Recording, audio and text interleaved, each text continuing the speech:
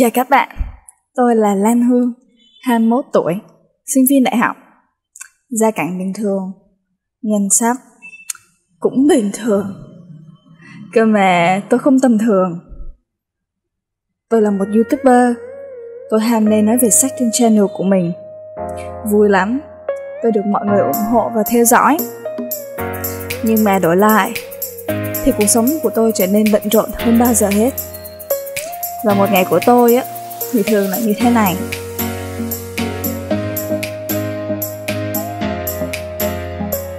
Lúc nào cũng vậy đấy, thức dậy trong tình trạng mệt mỏi như thế này này.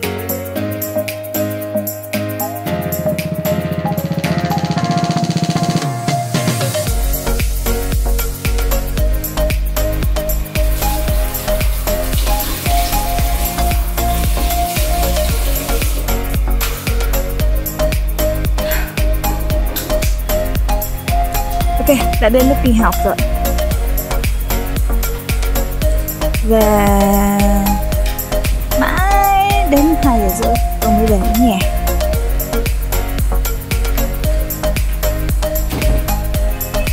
Về nhà xong thì tôi phải đi tập. Biết mà, sống ở thời này phải chăm lo cho sức khỏe của mình chứ. Tôi tập những bài tập nhẹ nhẹ, vừa phải, chỉ để giữ sức khỏe nhưng mà đôi lúc thì cũng thử thách bản thân mình một xíu.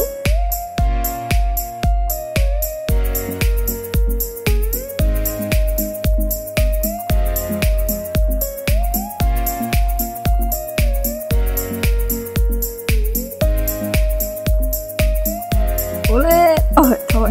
Nghỉ ngơi một chút. Rồi lại quay lại tập liền.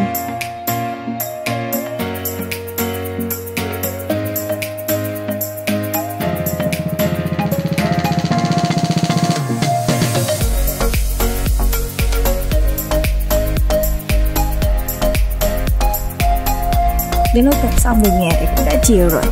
Đi tắm xong thì tôi quay trở lại đọc sách. Bạn biết mà youtuber không đọc sách thì làm gì?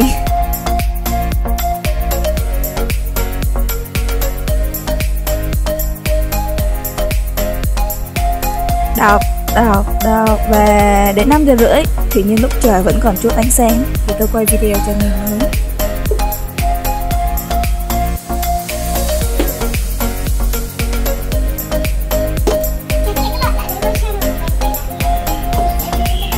quay xong á, thì tôi phải quay về làm bài tập. Gọi là làm bài tập, chứ thực ra là bắt đầu soạn giáo án rồi. Sinh viên sư phạm mà. Nghe soạn giáo án thì dễ, chứ thật ra một cái tiết giáo án 45 phút phải tốn tôi cỡ 4 đến 5 tiếng để soạn.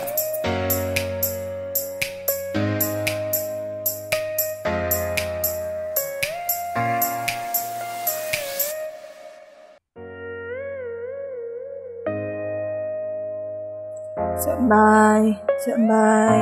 Và mãi cho đến lúc 7 giờ lại đến lúc tôi đi dạy thêm. Chuẩn bị đi kiếm tiền nào.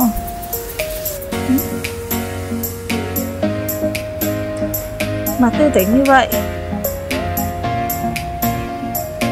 Nhưng đến lúc tôi về thì cũng đã tối khuya. Và bắt đầu mệt rồi đấy.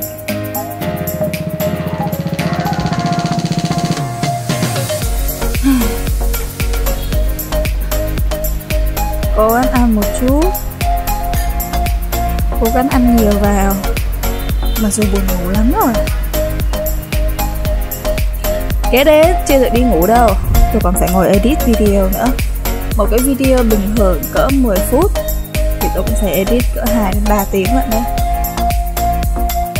Là cứ thế mà làm thôi. Buổi tối của tôi thường là như thế. Edit, lại edit.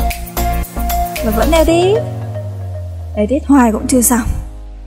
Ôi. Đã đến gần nửa đêm, thì đến lúc là tôi phải đi ngủ.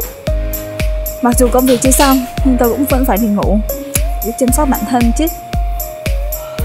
Một ngày bận rộn là như vậy đấy. Nhưng mà tôi không hề hối hận. Tôi sống trọn từng giây, chớp lấy mọi cơ hội mà cuộc sống đã đưa đến cho tôi. Thế là xong. Tôi kết thúc một ngày và đi ngủ đó là một ngày của tôi. Chào tạm biệt.